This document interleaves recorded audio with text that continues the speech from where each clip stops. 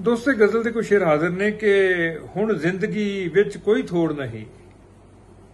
ਮਿਲਣੇ ਤੋਂ ਮਗਰੋਂ ਇਉਂ ਲੱਗਦਾ, ਜੋ ਬਾਲ ਚਿਰਾਗ ਤੋਂ ਧਰ ਦਿੱਤਾ, ਉਹ ਵੇਖ ਨਿਰੰਤਰ ਹੈ ਜਗਦਾ।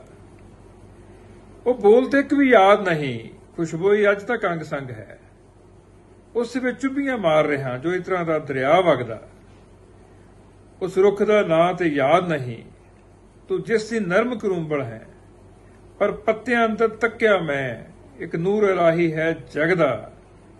ਤੁਰ ਜਾਣ ਤੋਂ ਮਗਰੋਂ ਇਉਂ ਲੱਗਾ। ਹੁਣ ਮੁੜ ਕੇ ਫਿਰ ਅਧੂਰਾ ਹਾਂ, ਪਰ ਯਾਦ ਕਰਦਿਆਂ ਫਿਰ ਦਿਸਦਾ, ਉਹ ਮੁਖੜਾ ਸੁਰਖ ਜਿਹਾ ਦਗਦਾ। ਇਹ ਮੋਤੀ ਮਾਲਾ ਗਲ ਵਾਲੀ ਪਲ ਪਲ ਦੀਆਂ ਖਬਰਾਂ ਦੇਵੇ ਪਈ।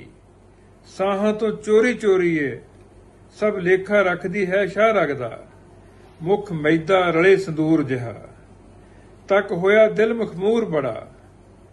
ਅੱਖਾਂ ਯਮਨਾ ਦੇ ਪਾਣੀ ਵਿੱਚ, ਜੋ ਦੀਵਿਆਂ ਦਾ ਪ੍ਰਵਾਹ ਜਗਦਾ।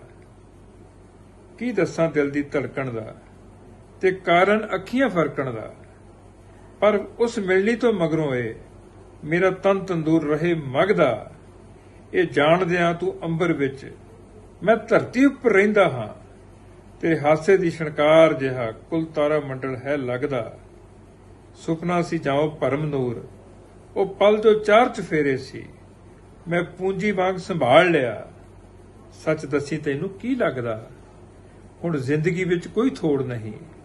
ਮਿਲਣੇ ਤੋਂ ਮਗਰੋਂ ਇਉਂ ਲੱਗਦਾ, ਜੋ ਬਾਲ ਚਿਰਾਗ ਤੂੰ ਧਰ ਦਿੱਤਾ, ਉਹ ਵੇਖ ਨਿਰੰਤਰ ਹੈ ਜਗਦਾ। ਇਹ ਜਾਣਦਿਆਂ ਤੂੰ ਅੰਬਰ ਵਿੱਚ, ਮੈਂ ਧਰਤੀ ਉੱਪਰ ਰਹਿੰਦਾ ਹਾਂ। ਤੇਰੇ ਹਾਸੇ ਦੀ ਛਣਕਾਰ ਜਿਹਾ, ਕੁੱਲ ਤਾਰਾ ਮੰਡਲ ਹੀ ਲੱਗਦਾ। ਧੰਨਵਾਦ। ਮਿਹਰਬਾਨੀ ਦੋਸਤੋ ਸ਼ੁਕਰੀਆ ਗੁਰਪਜਨ ਗਿੱਲ।